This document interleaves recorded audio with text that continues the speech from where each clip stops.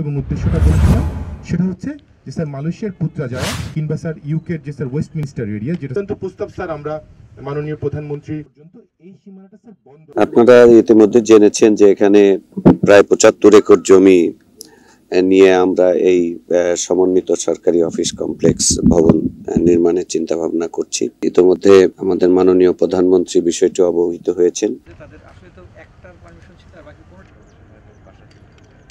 উন্নত দেশের সরকারি কাজকর্ম বা অন্য অন্য যে কোনো অফিসের কাজকর্ম তার পরিবেশ ভালো করা একান্ত প্রয়োজন এবং সুন্দর পরিবেশে সুন্দর একটা অফিসে বসে কর্মকর্তা কর্মচারীরা কাজ করবেন এবং সেখান থেকে ভালো কাজ আমরা উপহার পাবো গুণগত মানসম্পন্ন কাজ উপহার পাবো। সার্ভিস এবং ইউটিলিটি ফাংশনগুলো এখানে থাকবে। সারা বাংলাদেশেই অবৈধভাবে যে স্থাপনাগুলো আছে, এই স্থাপনাগুলো আমরা উচ্ছেদের পক্ষপাতী এবং সরকার সেইভাবেই বিবেচনা করছেন। কেউকে বাদ দিয়ে কিন্তু সরকারি কর্মকাণ্ড নয়, সকলেরই প্রয়োজন। তো সকলকে অ্যাকোমোডেট করাই সরকারের উদ্দেশ্য।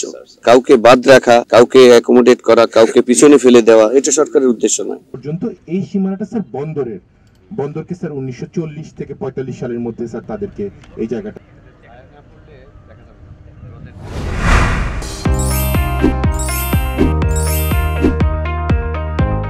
চট্টলা টিভি ইতিহাস ঐতিহ্যের প্রতিচ্ছবি।